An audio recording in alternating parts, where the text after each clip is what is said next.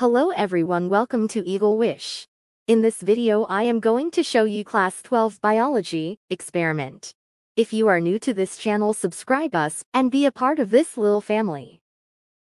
The aim of this experiment is to study the plant population, density, and frequency by quadrat method.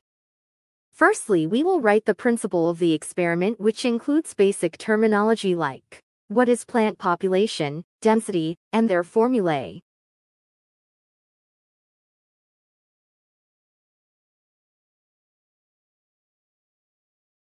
After that we will make the list of materials, or apparatus required, in our experiment.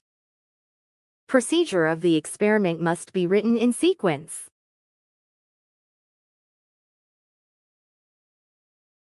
The observation of the experiment must be written into different tables one for population, density, and another for plant population, frequency.